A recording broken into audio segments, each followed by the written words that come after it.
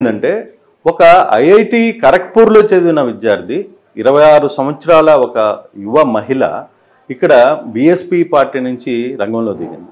మామూలుగా IIT professionals అందరూ కూడా అసలు ఈ రాజకీయం వైపుకు అడుగు పెట్టడం ఏంటి? ఎందుకు ఆమెకి ఆలోచన చేస్తుంది? ఆమె మాట్లాడమైన ప్రయత్నం అయితే చేద్దాం. మేడం నమస్తే. మామూలుగా మీరు ఐఐటి ఖరగ్పూర్. సో మీరు ఐఐటి ఖరగ్పూర్ చేసి అసలు రాజకీయాల వైపుకి రావాలి అనే ఆలోచన ఎందుకు వచ్చింది ఈ మిస్టేక్ యాక్చువల్గా ప్రజలందరూ కూడా చేస్తున్నారు. ఇంటెలెక్చువల్స్ ఫీల్డ్ కానీ చదువుకున్న విద్యార్థులు కానీ మనందరం మన ఉద్యోగాలు చేసుకుంటా ఉంటాం. సాఫ్ట్వేర్ ఇంజనీర్గా డాక్టర్గా అటు అటు సైడ్ మనందరం వెళ్ళేసరికి మరి రాజకీయాలు కూడా ఒక ప్రొఫెషన్ మరి దీన్ని ఎందుకు చూసు చేసుకోలేకపోతున్నాం? మరి దీనికి ఎడ్యుకేటెడ్ ఇండివిజువల్స్ అనే వాళ్ళు రాజకీయాల్లోకి దూరంగా ఉండడం వల్ల అది దోపిడీ చేయడం జరుగుతుంది. ఆ రాజకీయ నాయకులు నేడు గూండాలు దాదాగిరి చేసేటోళ్ళు మరి కొంతమంది మరి బినామీల లెక్క పనిచేసేటోళ్ళు నేడు వాళ్ళకి మాత్రమే రాజకీయం అని అనేటిది వెళ్ళిపోయింది. కానీ ఆ రాజకీయ పొలిటికల్ మీనింగే చేంజ్ చేసే సిచ్యువేషన్ నేడు భారతదేశానికి వచ్చింది. మరి తెలంగాణ కోసం కూడా ఎంతో మంది పోరాటం చేస్తే మరి అట్లాంటి రాజకీయ రంగంలోకి అలాంటి పోరాట యోధులు ప్రవేశ కాకపోవడం వల్లనే నేడు ఇంకా మనం కోరుకున్నటువంటి నిధులు నియామకాలు ఉద్యోగాలు అనేటివి నీళ్ళు నిధులు నియామకాలు అనేటివి ఇంకా ఇంప్లిమెంట్ కాలేదు సో నా వంతుగా నేను ఏదో ఒకటి సొసైటీకి చేద్దాం అనే కళతోటే నేను ఖరగ్పూర్లో చదువుకున్న తర్వాత ఢిల్లీకి వెళ్ళి సివిల్ సర్వీసెస్ ఆస్పరెంట్గా ఐఏఎస్ ఐపీఎస్ ప్రిపరేషన్స్కి వెళ్ళడం జరిగింది ఇక కాలం ఏ విధంగా ఉందంటే కరోనా వల్ల అందరికీ. కొన్ని నెగిటివ్ అయితే నాకు యాక్చువల్గా అది నా రాజకీయ బాటకి అది పునాది వేసింది. ప్రవీణ్ కుమార్ సార్ రాజా రాజీనామా చేశారు. మరి అదే విధంగా నేను కూడా నా వంతుగా ఎంతో కొంత సహాయం చేద్దామని రాజకీయ కానీ చిన్న వయసు ఇరవై ఐదు ఇరవై ఆరు సంవత్సరాలు అంతేనా? మేబీ ఇరవై ఏడు. ఓకే. ఇరవై ఏడు సంవత్సరాల వయసులో మీరు నాకన్నారు సివిల్స్ ఇవన్నీ కూడా రాయాలి. కానీ కలెక్టర్కి సివిల్స్కి ప్రిపరేషన్ ఉండి కూడా ఆ దిశగా వెళ్ళాల్సిన మీరు బిఎస్పి లాంటి పార్టీలోకి రావడానికి కారణం ఏంటి? ఎవరు మిమ్మల్ని ఆకర్షితం చేశారు? ఇరవై ఐదు ఏళ్ళు అని అనేటిది మనకి మినిమం ఏజ్ ఒక ఎమ్మెల్యే కంటెస్ట్ చేయడానికి. మరి నాకు ఇరవై ఏడేళ్ళు. పద్దెనిమిది ఏళ్ళ నుంచే మనం ఓటింగ్ వేయడం స్టార్ట్ చేస్తాం. మరి ఎన్నుకోవడానికి అన్ని అర్హతలు పద్దెనిమిది ఏళ్ళ నుంచే ఉన్నప్పుడు అంటే ఒక నాయకుడిని తన జీవితాన్ని బాగు చేసేటటువంటి ఒక నాయకుడిని ఒక వ్యక్తియే ఎన్నుకోగలిగినప్పుడు మరి అలాంటి నాయకులం మనం ఎందుకు అవ్వలేము? మరి ఆ విధంగా ఏజ్ అనేది ఒక నెంబర్ మాత్రమే. ఎంతోమంది చాలా చిన్నతనంలోనే సావిత్రి బాయ్ ఫులే గారు పదిహేడేళ్ళకే తను మొట్టమొదటిసారిగా మహిళల కోసం విద్యని అందించడానికి పాఠశాలను పెట్టింది. ఆ విధంగా భగత్ సింగ్ గారిని చూసిన ఎంతోమంది చాలా చిన్నతనంలోనే వాళ్ళు సామాజిక సేవ మొదలుపెట్టారు. మరి నన్ను ప్రోత్సహించింది కూడా అలాంటి మహనీయులే. మరి సర్దార్ సర్వాయి పాపన్న గౌడ్ చరిత్ర పండగ సాయి ముదిరాజు గారి చరిత్ర అలాగే బెల్లి లలిత కవ ఒక గొల్ల కురుమ బిడ్డ తన చరిత్ర. మరి అట్లాంటి పోరాట వీరుల చరిత్ర నన్ను ఎంతో కదిలించింది. ఎందుకంటే ఇంకొకటి ఆ పోరాటాల వీరుల చరిత్ర ఒక వైపు అయితే మా తల్లిదండ్రుల చరిత్ర. మరి వాళ్ళు నన్ను ఇరవై ఏడేళ్ళు పెంచింది అంటే నేను కూడా ఈ సమాజాన్ని వాళ్ళతో పాటు కానీ యాక్సెప్ట్ చేశారా? మీ ఇంట్లో వాళ్ళు నేను రాజకీయాల వైపుకు వెళ్తానంటే ఒప్పుకున్నారా వాస్తవంగానే? మా నాన్న మేబీ పదిహేడు పద్దెనిమిది ఏళ్ళు ఉన్నప్పుడే ఆయన ఇదే పెద్దపల్లి నియోజకవర్గంలో సిపిఐ పార్టీలో ఆ- సమయంలో ఆయన రాజకీయంలో తిరిగేది. ఆయన ఆనాడు ప్రతి ఒక్క షాప్కి పోయి ఉక్కడని బియ్యం తీసుకొని ప్రతి ఒక్కరి దగ్గర క్యాంపెయినింగ్ చేసిళ్ళు. ఒక కుమ్మరాయన దగ్గరికి పోయి ఒక కుండను తీసుకొని ఆ విధంగా ఆయన సమయంలో క్యాంపెయినింగ్ చేసిళ్ళు. ఒక స్వచ్ఛందంగా ఏ విధంగా ఒక యువకుడు క్యాంపెయిన్ చేయగలుగుతారో ఆ విధంగా ఆనాడు వాళ్ళ టీం మొత్తం క్యాంపెయిన్ చేస్తే పదివేలకి ఒక్క ఓటు తక్కువ పదివేల ఓట్లు పడ్డాయి ఆ కాలంలో. మరి ఆ విధంగా ఆయనకి ఎప్పటి నుంచో రాజకీయ ఇంట్రెస్ట్ ఉంది. రాజకీయంగా పార్టిసిపేట్ చేసిన వ్యక్తే. కానీ ఆయన కూడా అతి చిన్న వయసులోనే ఎప్పుడైతే మా తల్లిదండ్రులు ఇంటర్ కాస్ట్ మ్యారేజ్ చేసుకున్నారో. సమాజం గురించి సమాజానికి ఇంకా తెలియదు కొన్ని విషయాలు అని చెప్పి. ఇంకొకటి మళ్ళా ఈ సమాజంతో పాటు నాయకులు తెలియనియట్లేదు వాళ్ళకి. విద్యని అందించట్లేదు వైద్యాన్ని అందించట్లేదు. ఈ నాయకులు మళ్ళా డబ్బులు మద్యాన్ని ఇది ఈ కాలంలో కాదు. మనం చూసేది ఒక ఒక నాడే యాభై రూపాయలు ఐదు రూపాయల దగ్గర నుంచి వాళ్ళు ఇచ్చేదంట ఓట్లకి. మరి ఎప్పటి నుంచో నోటుకి ఓటు అనేది ఇప్పుడు కాదు ఎప్పటి నుంచో ఉన్నది. మరి ఆ సమయంలోనే నాన్న గమనించిండు. ఏ పార్టీ అయినా మళ్ళా దొరల చెంతకే పోతుంది. మనం కింద నుంచి కార్యకర్తలుగా ఎంత పోరాటం చేసినా మళ్ళా ఆ దొరల సంఖకే చేరాల్సిందే అని చెప్పి ఆయన రాజకీయాల్లోకి దూరంగా వెళ్ళిపోయి మళ్ళా రాజకీయంలోకి అడుగు పెట్టలే. మరి రాజకీయాలు ఆ కాలంలోనే ఆయన విసిగి చెందిన మీ ఫాదరు. ఇప్పుడున్న ప్రస్తుతమైన ఈ ఈ చెత్త రాజకీయాల్లోకి మమ్మల్ని ఎలా ఎంటర్ చేశారు? దానికి గల కారణం మరి ఒక నాయకుడు. ఆయననే డాక్టర్ ఆర్ఎస్ ప్రవీణ్ కుమార్ గారు.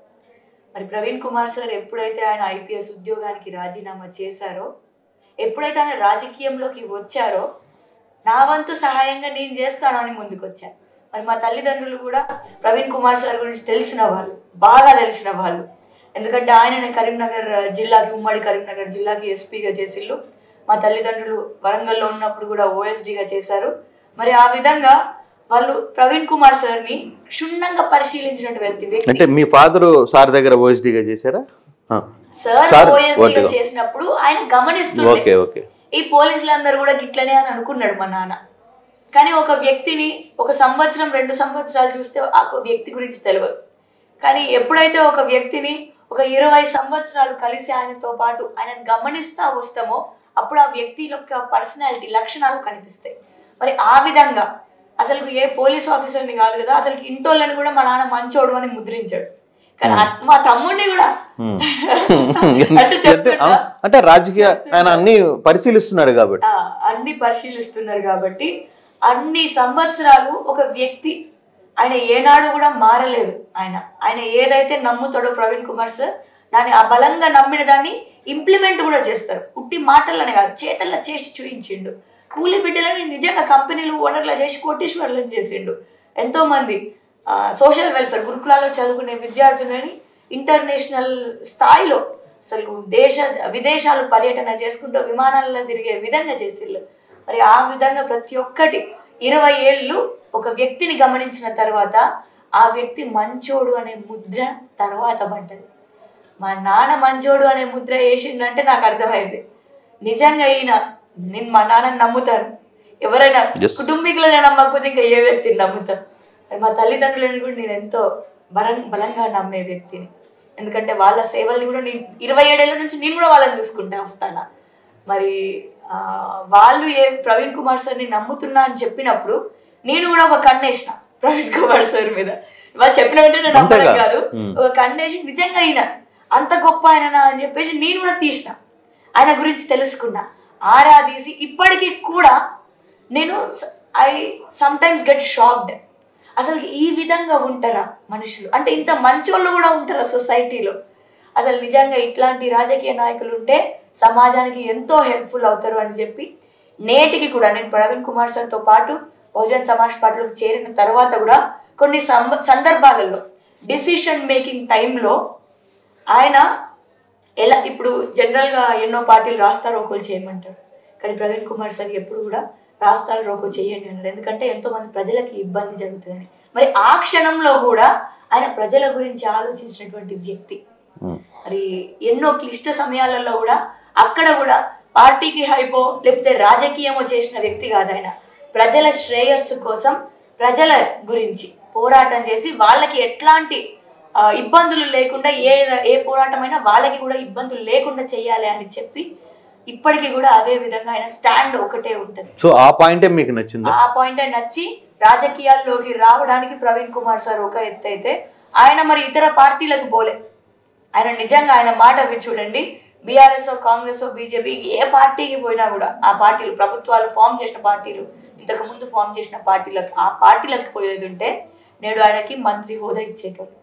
మేబీ కాంగ్రెస్కి పోయేది ఉంటే ముఖ్యమంత్రి హోదా కూడా వచ్చేదేమో కానీ ఆ పార్టీలలో ఏ హోదా ఇచ్చినా అవి మళ్ళా పేదలకి ఉపయోగపడేటట్టు కాదు మళ్ళీ కార్పొరేట్ సంస్థలకి మళ్ళీ దొరలకి ఉపయోగపడేటటువంటి అని. ఆయన కూడా తెలుసుకొని నేడు మన బహుజనుల పక్షాన నిలబడే బహుజన్ సమాజ్ పార్టీలో చేయారు చేరారు. మరి అది చూసి నేను ఇంకా ఇన్స్పైర్ అయినా. బహుజన్ సమాజ్ పార్టీ నాలుగు సార్లు ముఖ్యమంత్రిగా బెహంజీ కుమారి మాయావతి గారు చేశారు. ఒక దళిత బిడ్డ ముఖ్యమంత్రి చేసినటువంటి పార్టీ కానీ. పెద్దపల్లికి మాయావతిని తీసుకురాగలిగింది ఇది దాసరి ఉష. మామూలుగా మిగతా క్యాండిడేట్ల ఎవరి దగ్గరికి కూడా పోలేదుగా. మీ పార్టీలో చాలా మంది పోటీ చేస్తున్నా ఆ ప్రాంతానికి ఎక్కడికి కూడా ఆమె ప్రచారానికి రాలే. కానీ ఉషా దగ్గరికి ఎందుకు వచ్చింది మాయావతి? మరి ఇక్కడ కేవలం దాసరి ఉష అంటే ఒక వ్యక్తి కాదు. ఇక్కడ దాసరి ఉష అంటే రెండు లక్షల నలభై వేల మంది ఓటర్లు ఉన్నారు ఇక్కడ. మరి ఇక్కడ ఉన్నటువంటి ప్రతి ఒక్క బహుజన బిడ్డ నన్ను ఒక నాయకురాలు లెక్క గుర్తించి నేడు నాకు ఎమ్మెల్యే అభ్యర్థి టికెట్ ఇచ్చే స్థానానికి తీసుకొచ్చారు మరి ఈ ఇరవై ఏడేళ్ళ బిడ్డని ఇంకా ప్రోత్సహించడానికి మరి బెహన్జీ మాయావతి గారు వచ్చారు. తన ఆశీర్వాదాలు నాపై ఉండడానికి. మరి ఇక్కడితోటే కాదు ఇంకా నాకు ఎంతో నలభై యాభై సంవత్సరాలు నా చివరి శ్వాస వరకు నేను రాజకీయంలో ఉండి ప్రజలతోటి గడపడానికి వచ్చిన వ్యక్తిని. మరి నా చివరి శ్వాస వరకు ఉండడానికి వచ్చిన వ్యక్తిని కాబట్టి నాలాంటి యువతరాన్ని ప్రోత్సహిస్తే కూడా ఎంత తరాలు ఒక తరాన్ని నేను బాగు చేయగలుగుతా అనే నమ్మకంతో మరి ఆవిడ రావడం జరిగింది. మరి ప్రవీణ్ కుమార్ సార్ కూడా సార్ కూడా నా పైన నమ్మకంతో ఈ బిడ్డని ఇన్ఛార్జ్గా ఇచ్చి మరి నేను చేయగలుగుతా అనే నమ్మకంతో నాకు ఒక ప్రత్యేక స్థానాన్ని గుర్తింపుని కూడా ఒక మహిళగా నాకు ప్రత్యేక గుర్తింపును కూడా ఇవ్వడం జరిగింది. ఒక పద్మశాలి బిడ్డ. నేను పెద్దపల్లిలో కాదు అసలు రాష్ట్ర వ్యాప్తంగా పద్మశాలి బిడ్డలకు ఏ పార్టీలు కూడా టికెట్లు కేటాయించలేదు కాలం నేడు. అట్లాంటిది పట్టుకొచ్చి నన్ను పద్మశాలిలకి నువ్వు ఉండాలి అని చెప్పి మీ వర్గాన్ని మీరు రిప్రజెంట్ చేసుకుంటూ మీ లోకాన్ని కూడా దీంట్లో. పెద్దపల్లిలో దాదాపుగా లక్ష అరవై వేల ఓట్లు పద్మశాలీస్ ఉన్నారు కాబట్టి నువ్వు మీరు రంగంలోకి వచ్చారా? ఇక్కడ పద్మశాలి ఓట్ బ్యాంక్ అనేది ఒక నలభై వేల మంది ఉంటారు. పద్మశాలీలు ఉన్నారని చెప్పి నేను పెద్దపల్లి ఎన్నుకోలేదు. పెద్దపల్లి అనేది నా సొంత గడ్డ. మరి నా సొంత గ్రామం అనేది కనగర్తి గ్రామం ఓదెల మండలం పెద్దపల్లి నియోజకవర్గం. మరి ఇది నా నా ప్రాంతం కాబట్టి ఎన్నడిగైనా నా ప్రాంతం మీద నాకు ప్రత్యేక అభిమానం ఉంటుంది. చుట్టుపక్కల ఉండే నా ఇల్లు అని అన్నప్పుడు చుట్టుపక్కల ఉండే పది గ్రామాలు. బాగుంటే నేను కూడా సంతోషంగా ఉంటాను. నా గ్రామస్తులు సంతోషంగా ఉంటే నేను కూడా సంతోషంగా ఉంటానని ఆ విధంగా పెద్దపల్లి నియోజకవర్గం మళ్ళా తిరిగి నా గడ్డకి చేరుకున్నాను. అంటే మీరు యంగ్ ఏజ్లో ఉన్నారు. మీ ప్రత్యర్థులు అనుభవ అంటే రాజకీయ అనుభవం కావచ్చు లేకపోతే ఫైనాన్షియల్గా కావచ్చు వీటన్నిటిలో దే ఆర్ వెరీ స్ట్రాంగ్. అంటే మీరు చక్కగల మీరు మీరు ఆ పోటీ ఇవ్వగలరా? అంటే ఏం చెప్తారు? వాళ్ళు వాళ్ళ జీవిత కాలాన్ని చూశారు. నేను ఇప్పుడున్నటి జనరేషన్ కాలాన్ని చూస్తున్నాను. వాళ్ళ సమయంలో మరి టెక్నాలజీ లేదు. అన్ని పుస్తకాలు కూడా వాళ్ళు చదివిలో చదవలేదు మరి ఇప్పుడున్న రాజకీయ నాయకుల్ని తీసుకుంటే మరి ఈ బిడ్డ పుస్తకాలు చదివి వచ్చిన దాన్ని ఇప్పుడు టెక్నాలజీని ఉపయోగించుకొని మరి వాళ్ళు అరవై ఏడేళ్ళ సంధి చేయని నేను ఐదు సంవత్సరాలు చేయగలుగుతానేమో? మరి అవకాశం ఇస్తేనే కదా తెలిసేది. మరి అదే విధంగా వాళ్ళు నేడు అస్తమించే సూర్యుడి లెక్క ఉన్నారు నేను ఉదయించే సూర్యుడి లెక్క ఉన్నా. మరి నా కాలంతో ఎంతో మంది ప్రయాణం చేస్తే వాళ్ళందరికీ కూడా ఉపయోగపడతాను. వాళ్ళందరి జీవితాలు కూడా మేమందరం కూడా కుటుంబం లెక్క కలిసి ఎదుగుతాం.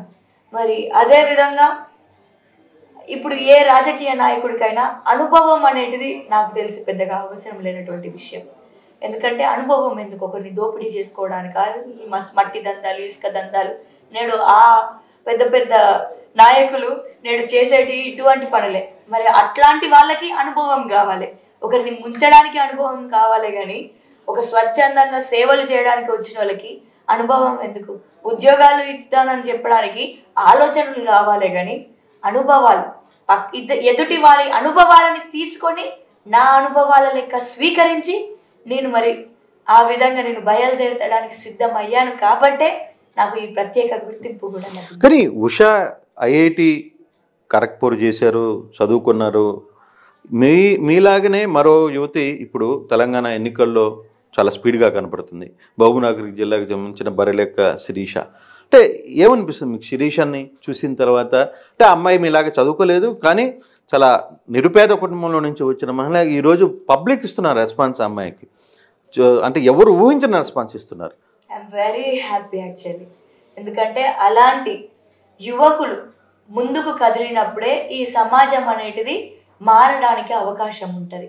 మరి కేవలం పెద్ద పెద్ద నాయకులు ఇందాక మీరు వర్ణించినట్టు ఆ నాయకులే కాదు. స్వ యువతరం కూడా ముందుకొచ్చి వాళ్ళ ఆలోచనల్ని బయటికి వచ్చినప్పుడు మాత్రమే మనకు ఒక నాణ్యత గల లీడర్లు బయటికి వస్తారు.